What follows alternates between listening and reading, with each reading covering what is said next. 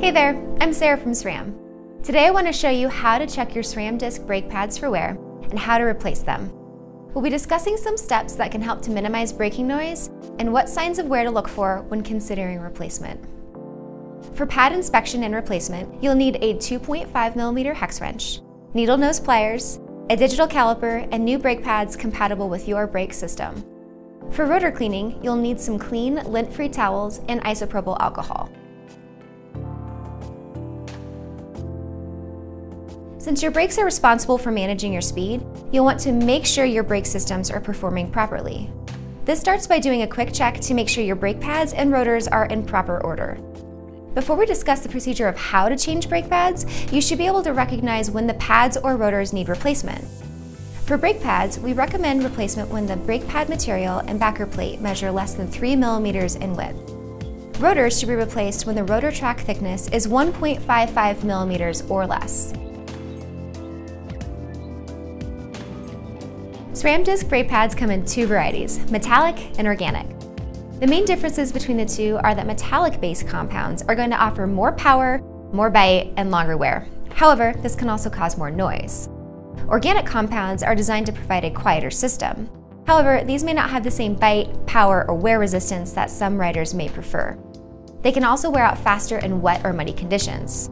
We encourage you to try both compounds to determine what works best for your riding style. To determine what you currently have, you can identify an O or an M printed on the back of your brake pad. Metallic pads can also be identified by their copper backing plate.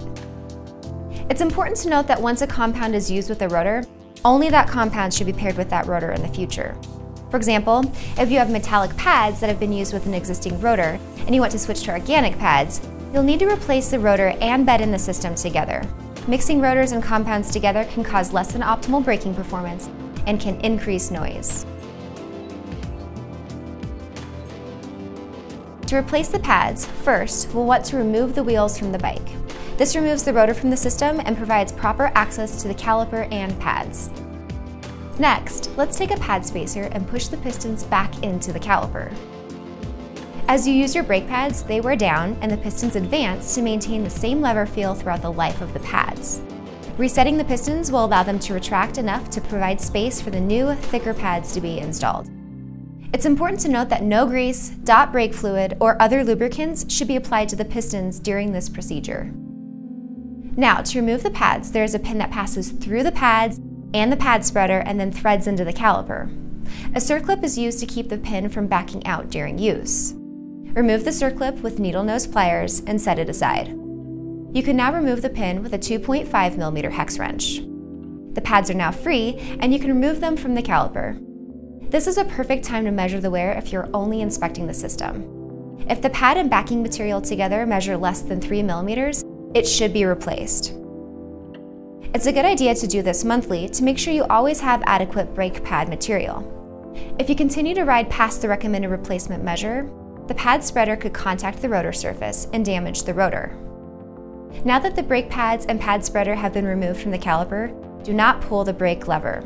This can cause the pistons to dislodge, requiring a full system service. With the pads out, this is a good time to inspect the caliper. If there is an excessive buildup of oil or dirt anywhere, there could be a leak that needs to be addressed with a full caliper service. If not, this is a good time to clean the caliper. Spray the caliper with isopropyl alcohol and clean it with a lint-free towel. Now that the caliper is clean, you can inspect it to make sure there is no damage or cracks that could cause a loss of braking control on a ride. If you do notice structural damage, consult your local professional mechanic to review your options. The next step is to install your new brake pads. Make sure that the pad spreader spring is properly installed. This keeps the pads from rubbing on the rotor and helps to keep the system aligned. Once the spreader is installed properly, take the pads and install them into the caliper. Install the pin through the caliper, pads, and spreader, and then install the circlip. At this time, you can install your pad spacer to make sure the pistons are still pushed into the caliper and that you have adequate space to install the rotor. To properly advance your new pads, flip over the pad spacer so that the thin end is installed between your brake pads. Lightly pull the brake lever until the contact point feels firm. Before installing your wheel, go ahead and clean your rotor using isopropyl alcohol. This can help minimize noise and also prevent contamination of your new pads from any residue that's on the rotors. To do this, spray a clean lint-free towel with isopropyl alcohol and wipe down both sides of the brake track on the rotor. Once cleaned, make sure not to let any oils, cleaners, or your skin contact the rotor surface, as that will cause less than optimal performance. Install your wheel and you are good to go. We recommend anytime new pads are installed to test your brake system out in a driveway or a parking lot with some soft and strong pulls to make sure that the system functions as expected out on your ride. Don't forget, we recommend having your hydraulic disc brakes bled at least annually or as your riding needs require. And if you're installing new pads and rotors, be sure to watch our brake bed-in video on YouTube. Thanks for watching!